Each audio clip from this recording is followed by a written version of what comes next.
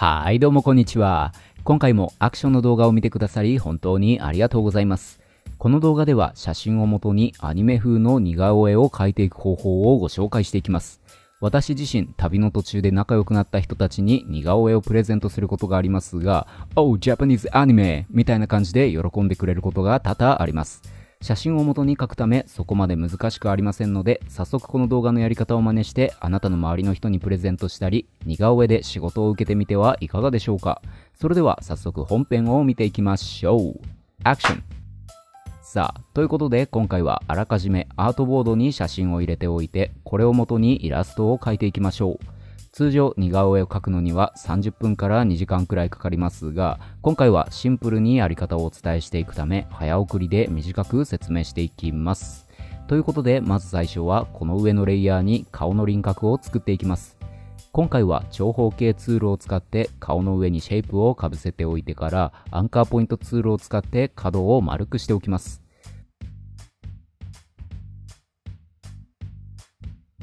そしてアンカーポイントを個別に選択しておいて、それぞれ実際の顔の輪郭に合わせてアンカーポイントを移動させておきましょう。多少美化するためにイラスト内で輪郭を小さくしたり、目を大きく描いたりとデフォルメを加えていってもいいかもしれません。細かいところはこのハンドルを動かすことで形を調整することができますね。さあ、ということでこんな感じで輪郭を描き終わったら、この中に顔のパーツを加えていきます。ペンツールを使ってこのまま眉毛とかをなぞっていってもいいのですが、多少ありえねえ感を出すためにアレンジを加えていきましょう。アレンジの方法として、あなたの好きな漫画やアニメのキャラのパーツとかを参考にしながら描いてみるといいかもしれませんし、オリジナルで想像を膨らませてみてもいいかもしれません。相手が喜んでくれればいいというのであれば、その方が好きな漫画からインスピレーションを得てもいいかもしれません。ということで、ここからはペンツールを使ってそれぞれのパーツを描いていきましょう。この辺はテクニックとかではなくて慣れだったりするので、まずはあなたも自分や身近な人の顔で色々と描いてみることをお勧めします。ということで、ここからは早送りでその様子を見ていきます。一度描いた目や眉毛などの2つあるパーツはコピーをしてから反対側に移動させておいてから垂直方向に反転していくと簡単にもう一つ作ることができます。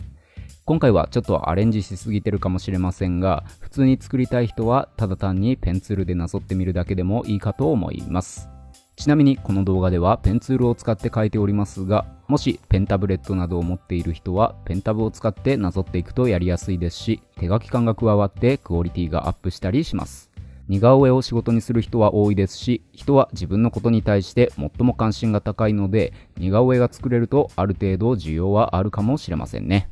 独特な顔のパーツを使ったり、ペンタブなどのツールを変更したりしながら、あなたらしいスタイルを見つけてみるといいかと思います。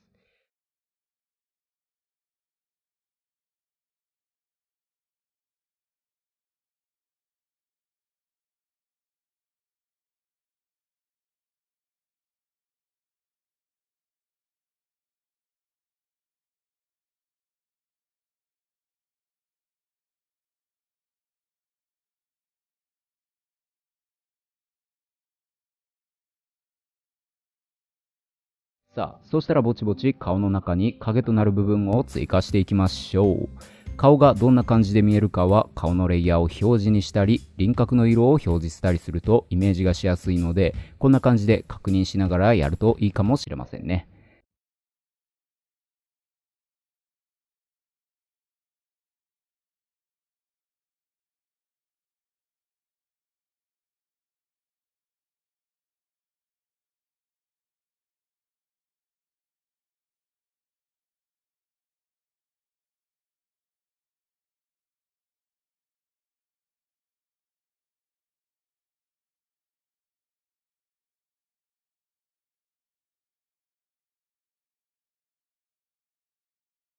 さあ、そしたらここで髪の毛なんかも加えていきましょうか。今回は髪の毛は自由に描けるように髪の毛をあらかじめカットしておりますが、普通に髪の毛もなぞりたい人はそうするといいかもしれませんね。ということで髪の毛のところもペンツールや複製をしていきながら描いていきましょう。私の場合は大抵髪の毛は光の当たっている部分と髪の毛の色、そして影の部分で2種類か3種類の色で作っていきます。この動画全部そうですが、似顔絵の描き方は完全に自己流なので、もっとクオリティを上げたい方は、漫画やイラストで顔を描く方法などを調べて、それをイラストレーターに取り入れてみてはいかがでしょうか。クリスタやアフィニティデザイナーといった別のイラストソフトでも使い方は似ておりますので、別のソフトのチュートリアルも参考にしてみるのも一つの手です。いろんな方法やジャンルをミックスすることで、オリジナリティやクリエイティビティがアップすることがありますからね。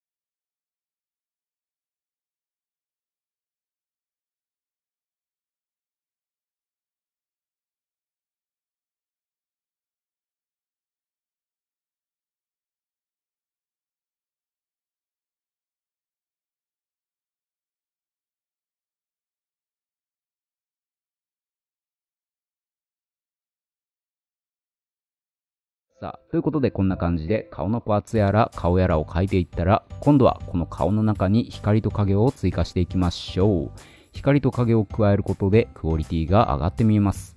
ということで、この光と影もやり方は同じく写真を見ていきながらなぞっていきます。今回はただなぞって配置をしているだけですが、この影や光のシェイプに効果のブラーからブラーガウスを適用することで、例えば私が別に作ったこんな感じの似顔絵イラストのように淡い影を加えることができますので、ここのところの設定はお任せいたします。他にもテクニックとして、例えば口の形を変えていきたい時とかには、この口に対してオブジェクトのところからエンベロープのワープを適用することで口を歪ませることができます。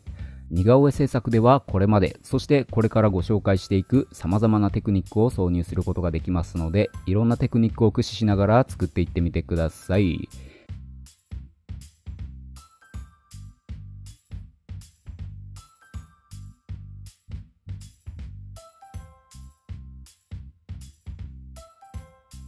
さあ、ということで最後にこの顔に対して光の反射を加えていきましょう。光の反射はイラストや物体に対して質感を加えるために結構大切だったりします。例えば光が背景よりもかなり明るくブラーのないエッジがしっかりした光を描き足すと表面がツルツルしたプラスチックのような無機質な質感の印象になりますね。逆に背景の色に近くてブラーのかかった光の場合は柔らかかったりより細かなリアリスティックな印象になります。今回はちょっと色をあからさまに背景とは変えております。この色を実際の写真とは全く違う三原色とかを使ったりするとアーティスティックになったりしますので、この辺はいろいろとチャレンジしてみてもいいかもしれません。さあ、とまあこんな感じでイラストが大体出来上がりましたら、他に細かなディティールを付け加えたかったら、いろいろと付け加えてみてもいいかもしれません。ちなみに私は最近ワンピースでルフィとカイドウの戦いを読んだので、ルフィのギアフォースとカイドウのような感じの似顔絵を作っていたりします。このイラストに対して他にパーツを加えていきたいときは、ストックサイトやあなたが別に撮影した写真から、Photoshop の写真合成のようにイラストを作っていってもいいかもしれません。今回は頭の上に角を描き足していきましょう。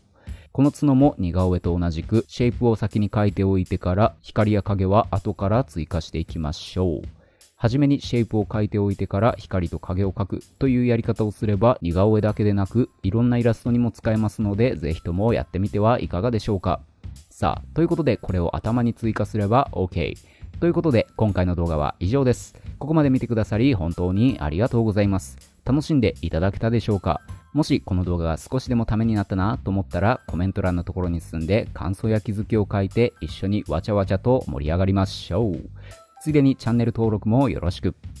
それではここまでご覧くださり本当にありがとうございます。スキルを身につけ新たな世界へ挑戦するヒーローとなれ。いつか会える日を。